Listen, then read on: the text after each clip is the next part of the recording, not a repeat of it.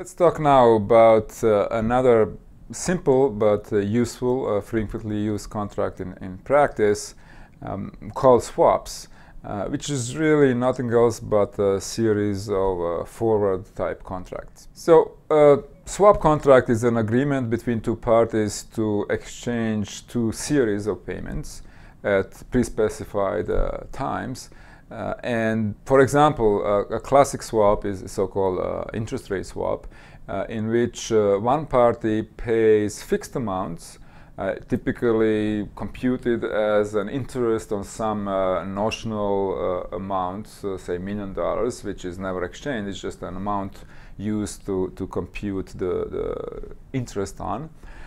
and the other party pays to the first party random interest on the same amount.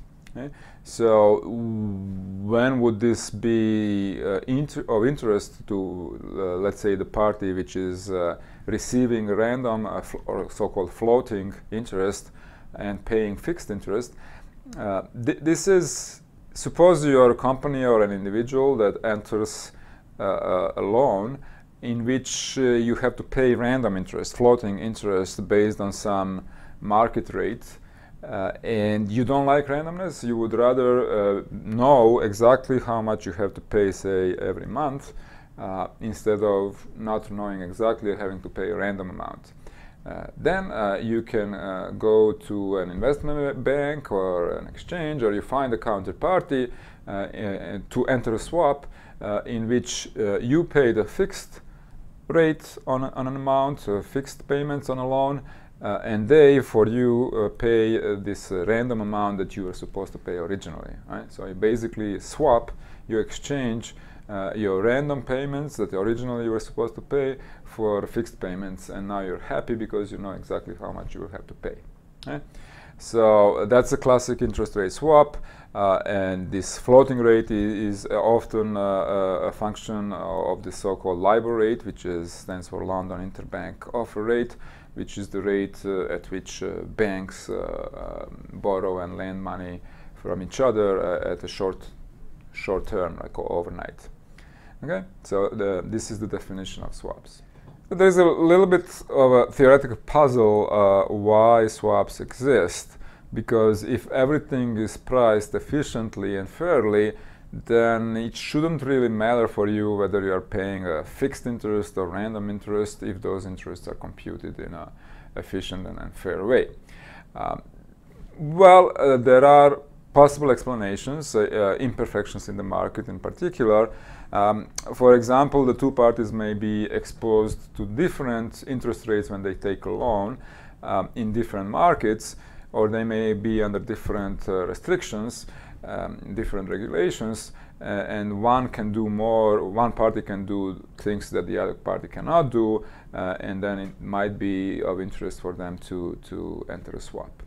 So here's an, an example. Uh, this was actually a real world example uh, uh, some years ago for a certain country in, in, which new pension regulations were, were introduced that required a higher investment in fixed income securities by pension funds. Uh, so suddenly there was a new law that the pension funds had to have a, a larger portion of, of, their investments in uh, fixed income instruments, uh, somewhat safer instruments, uh, as opposed to, let's say, stocks and equities. Um, so this creates problems if uh, at the moment your stock holdings are maybe uh, low value and you would take losses if you sell them or you are really thinking long term uh, and you really you actually want these stocks and you would rather not sell them so one way uh, if the regulations uh, still allow it instead of selling uh, stocks that you, you, that you own, the, uh, that the pension fund owns, uh, they could enter a swap uh, in which they would exchange uh, profits or losses from stocks for fixed income returns. Okay, so effectively, it's as if they are holding bonds uh, or some other fixed income instruments, but they're not really. They, they just swapped. They still hold the stocks, but they pay the, the, the profits or losses from stocks. They exchange them for profits or losses from some fixed income instruments. So if the regulations allow this, in this way, uh, you are in fact in invested uh, your returns are according um, higher percentage uh, with respect to fixed income instruments, but you didn't actually sell those stocks. Okay? Uh, there is also a more exotic thing called uh, swaptions. Uh, if you if you want to have an option not not to exchange, if you don't want to, that's called a swaption. It's an option to enter a swap. Um, uh, so, but you know that's that's already a more complicated derivative. It's not a linear derivative. Here's a kind of a typical example uh, which is offered as a, as a justification why, why swaps might exist. Uh, it's called the swap uh, comparative advantage of entering a swap. Um, so we are going to imagine here that we have two firms. Uh, there is a lot of assumptions here which may not be completely realistic, but mm, okay, uh, it will give you an idea why, why when a swap might be useful. So there's a US firm called Firm B uh, which wants to, to which uh, needs for some reasons to borrow Australian dollars and there is a, a Australian firm A which uh, needs to borrow uh, American dollars uh, and suppose that the firm uh, B can borrow US dollars at 5% rate and it can borrow Australian dollars at 12.6% interest and the firm A, the Australian firm, the, it can borrow US dollars at 7% and Australian dollars at 13%. Okay, so firm A actually has to pay higher interest in both markets. Um, that uh, might be completely realistic because um, if firm A uh, has a lower credit rating than firm B, typically it will have to have to pay higher interest um, than a higher uh, rating firm. So the claim here is there is a swap or, or swaps uh, such that um, these firms could share potential expected gain of this minus this plus this uh, minus this minus this. So 7 minus 5 minus 13 minus 12.6, which in this case is 2 minus 0.4%, um, so 1.6%. Okay? So the, the, the, the, the, let's see whether we can construct at least one swap. It's going to be many, but one swap in which um, there is a profit of 1.6% that can be made in, in, some sense. So here is the swap. Uh, it's uh, and we are going to imagine here that there is an intermediary bank because it might be hard for bank A and uh, firm A and firm B to find each other. We are going to imagine that uh, they actually go to an investment bank and they ask for a better deal uh, so that they can reduce the interest that they have to pay. Uh, and the bank uh, proposes the following two swaps. Yeah? So the, the bank proposes to, with, to firm B to pay in the swap uh, uh, rate of 5% on the notional amount uh, in US dollars and to receive from firm B 11.9 percent uh, on a notional amount in Australian dollars. Uh, firm B, on the other hand, uh, remember they, they borrow US dollars at 5%, which is exactly this 5% they are getting from the bank. Okay? Uh, uh, similarly, the bank proposes to firm A to um, pay 13% uh, in Australian dollars and to receive in the swap in exchange for receiving um, 6.3 in US dollars. And firm A is taking a loan uh, at 13% in Australian dollars. Okay?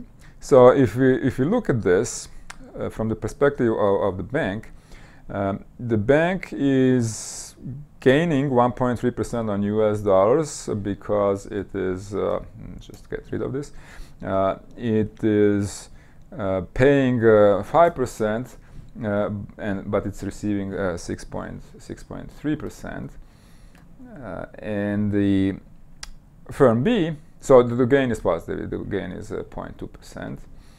Uh, firm B is also gaining in uh, in um, in terms of Australian dollars uh, originally, they would have to pay in the market, if they just go directly to the market, they would have to pay 12.6% in Australian, but in this swap, they are paying only 11.9. Eh, okay? So that's a gain of 0.7%. And similarly, firm A which was supposed to pay um, 7% in US dollars if they go to the market, uh, they're paying only 6.3% um, here, so it's a gain of 0.7%. So if you add up 1.3 and, and, and uh, 0.7 and 0.7, uh, that's this, uh, sorry, 0.2 and 0.7 and 0.7, that's exactly this 1.6% that we claimed uh, would be the, uh, the total profits to be shared. Okay? So is this like some kind of, of, of magic here? Well, um, you know, as I said, there, there, there, might be a reason why uh, why the numbers are exactly like like uh, we assume here, uh, and one reason in particular may be lower credit rating of firm A, which means that firm A uh, is more likely to default than firm B. Okay? And we completely ignored here the, the danger of one of the parties going default. Uh, the, this is, of course, there are these profits to be made if nobody goes default. However, uh, if uh, one of the firms or the bank, uh, for that matter, as we saw that can happen too in a few years ago in the crisis, uh, if one of the parties goes default, then the another party will not get their promised uh, payments, and then these gains would be uh, lower than that in expected value. so, so if you actually if you actually correct for the possibility of default and default probabilities, um, then these, these gains should really disappear if the market is efficient. Uh, another swap example, uh, just uh, another possible use of a swap. Uh, suppose you are a charitable foundation and you receive um, some amount in stock from a, from a donor for a privately owned firm, for example, from the owner of a privately owned firm. Uh, and uh, but th this gift uh, is given under the condition that you cannot sell that stock. Okay, you have to hold it, you have to keep it uh, to to keep the firm owners happy. Um, well, if the firm owners are not sophisticated enough, maybe they will be happy enough if you hold the stock, but you you do enter a, a swap that exchanges the profits and losses from that stock with something which is better for your portfolio. Maybe they don't care if you enter some swaps, they just want you to keep those stocks on, the books. So you could uh, enter a, a so-called equity swap, um, which uh, which we mentioned before with the pension fund. Uh, well, not quite, it was a different one. Um, here you, you, you would, for example, uh, swap the, the returns or losses that you get from receive uh, on the stock of this private uh, firm in return for profits and losses on, on a same type of investment today on, uh, let's say, S&P 500 index, some kind of diversified uh, investment, uh, which would be an index of stocks like S&P 500. so, you know, that would make your holdings much more diversified and much less risky. Uh, of course, it, it, can always happen that um, uh, this was not a good thing to do. Uh, uh if, uh, in, in, hindsight, uh, it could happen that the index actually goes down and, and the private, this single stock goes up, in, in which case you will have to, you know, in this swap, you will have to um, pay a lot. You would be losing a lot in the, the, in the swap because you would be receiving little and having to pay a lot. And the final example with, with swaps, um, executive compensation. Uh, you these days executives uh, uh, often receive as part of their compensation uh, stock of, of, their company, and they are usually not not allowed uh, to sell this stock, at least not for a while. Uh, so your your portfolio now suddenly has this big big chunk which is not diversified, which is stock of your own company. Uh, now, this example maybe was more appropriate in the past. Uh, now, companies will probably not allow you to do a swap. But if you were allowed as the executive to do, you could, you know, you could swap again um, this particular returns of this uh, on the on the stock of your company uh, for the returns on uh, maybe an index uh, to to make your portfolio more di diversified. Um, so uh, again, this may not really be possible in most of the cases, but if it is possible, as an executive, you might want to do this.